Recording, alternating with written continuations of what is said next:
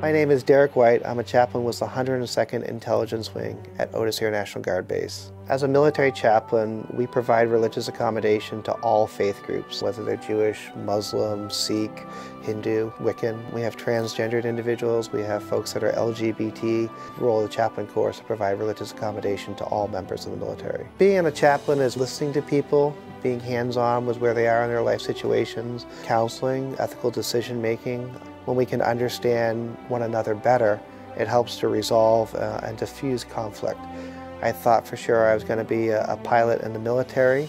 Senior year of high school, I just kind of had this awakening moment where God was grabbing me and going, I have a plan for your life. I'm calling you to ministry. It was a calling to go to seminary. It was not my original plan. I chose CTS because I felt that I need to be able to engage with people that think differently than me and come from different backgrounds. If I'm going to minister to the most amount of people, I really need to be able to understand multiple points of view. The online program and the chaplain program are wonderful ways for people to be able to complete seminary education. The stressors that folks deal with in the military, it's something that folks outside the military can't really understand. Spiritual resiliency is that ability to be able to connect with something beyond the human level, to find that strength to go through things that seem humanly impossible.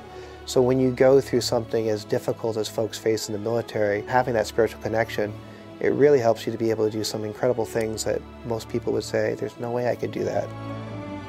A member of my congregation, he was on one of the ships that was at Pearl Harbor, and he just starts crying and pouring his eyes out. And he goes, I can still see them burning as they're jumping off the ship. And his wife turns to me and says, We've been married for 50 years and he's never been able to tell me that part.